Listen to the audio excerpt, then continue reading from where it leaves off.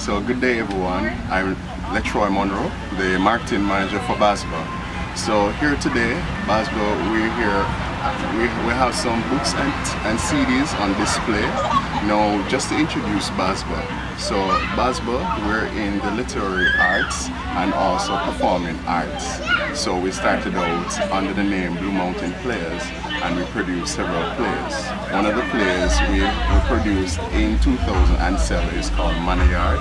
Right now we have it in DVD form. But other than the theatrical aspect of Bazbaa, as I said, we also distribute books. We wrote is Ants, and Ants is a book for the children for ages 8 to 12 so the ants is about a brother and a sister who went on a venture in the yard to pick mango and they met upon some ants. So this is, as I said, this is one of the books that we publish ourselves. And also we have a fashion line. It's the Jamaican parish line, t-shirt line.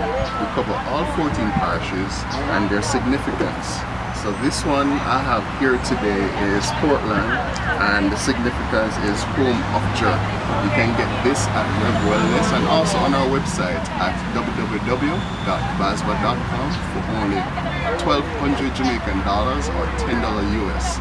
You can also check out our Facebook page, Bazbaa Theatrical Players, and you can also shoot us an email info at bazbaa.com.